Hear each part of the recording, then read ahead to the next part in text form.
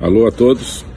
Eu vou embarcar daqui a pouco para Madrid, Espanha, onde nós teremos segunda e terça-feira a cúpula da Iberosfera, que é uma reunião de pessoas conservadoras da América Latina e da Espanha, outros países europeus também, para tratar das necessárias articulações na defesa da liberdade, na defesa dos valores da civilização ocidental nos nossos países.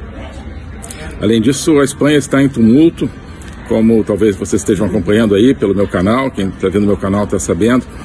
Existe uma grande revolta popular e crescente contra a atitude do governo socialista de Pedro Sánchez, que não deixa de ser aliado dos países bolivarianos da América Latina, no sentido de fazer um acordo com os separatistas da Catalunha, dando anistia a uma figura política da Catalunha que foi condenada pela Suprema Corte Espanhola por uma tentativa de separação da Catalunha em alguns anos atrás. Então haveria uma anistia para essa pessoa, que é o Puigdemont, e em troca disso o Partido Separatista da Catalunha apoiaria Pedro Sánchez para ele formar um novo governo, embora o partido dele tenha ficado em segundo lugar nas últimas eleições. Há uma sensação de que isso é, uma, é um golpe de Estado, que é uma tentativa de destruir a unidade da Espanha, destruir a separação dos poderes. Então as pessoas estão saindo às ruas em Madrid, em muitas cidades, contra essa tentativa de golpe da esquerda espanhola, eh, junto com os separatistas da Catalunha. O que acontece é, além disso, uma mobilização dos partidos políticos. O partido Vox, que é o partido conservador da Espanha, está à frente dessa mobilização, mas também outros partidos, vários governos eh, regionais da Espanha, eh, várias entidades do mundo jurídico, inclusive, dizendo que isso é um golpe, que isso é inadmissível.